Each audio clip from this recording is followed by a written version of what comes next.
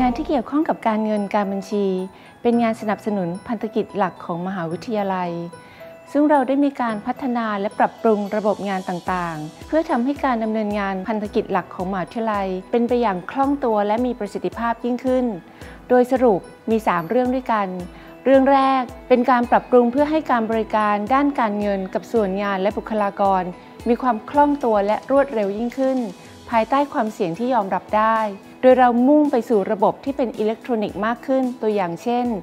ระบบอิเล็กทรอนิกส์ฟอร์ม รวมถึงการยื่นแบบฟอร์มต่างๆ ออนไลน์ เช่น แบบประกันสังคมออนไลน์ การรับเงินด้วยบัตรเครดิต และการรับเงินผ่านทางเว็บไซต์ ระบบ e-payment เราพยายามลดการจ่ายเงินด้วยเงินสดและเช็ค เปลี่ยนเป็นการโอนเงิน หรือการจ่ายผ่านบัตรเครดิตมหาวิทยาลัย นอกจากนี้เรายังมีการทำกระบวนการ lean process พื่อที่จะลดขั้นตอนและเอกสารประกอบการทำงานอีกด้วย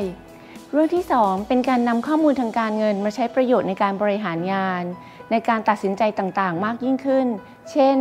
รายงานติดตามสถานะ และผลการดำเนินงานของส่วนงาน หรือที่เรียกว่ารายงาน warning sign และที่สำคัญที่ระหว่างดำเนินการก็คือการคำนวณต้นทุนต่อหน่วยของนิสิตในทุกหลักสูตรของมหาวิทยาลัยซึ่งจะช่วยให้เราได้เห็นถึงต้นทุนที่เราใช้ในการผลิตบัณฑิตให้ชัดเจนยิ่งขึ้น ในเรื่องของข้อมูลนี้ก็จะสอดคล้องกับการพัฒนาแล้วก็ปรับปรุงระบบการจัดการทรัพยากรของมหาวิทยาลัย หรือที่เรียกว่าระบบ CU ERP ให้มีความทันสมัย และรองรับต่อการเปลี่ยนแปลงที่จะเกิดขึ้นจากวิทยาศาสตร์ต่าง ๆ ของมหาวิทยาลัยได้ดียิ่งขึ้น โดยตอนนี้เรากำลังเริ่มกระบวนการเพื่อขึ้นระบบ SAP ใหม่ของ CU ERP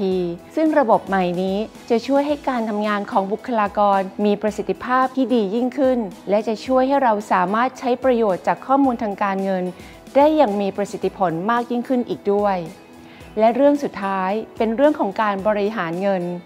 ซึ่งก็คือการที่เราจะนำเงินที่มหาวิทยาลัยแล้วก็ส่วนงานมี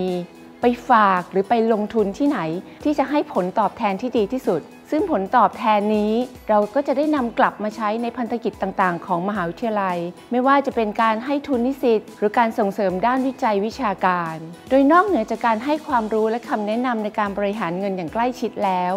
เราได้เพิ่มทางเลือกของการลงทุน โดยเพิ่มกองทุนส่วนบุคคลจุฬาอีกหนึ่งกองทุนที่เรียกว่า MFIX ซึ่งเป็นการลงทุนในตราสารหนี้ระยะปานกลาง จากเดิมที่เรามีอยู่แล้ว 3 กองทุน ซึ่งเป็นการลงทุนระยะสั้นและระยะยาว และนี่คือส่วนหนึ่งของการขับเคลื่อนงานด้านการเงินและการบัญชี เพื่อสนับสนุนภารกิจหลักของมหาวิทยาลัยค่ะ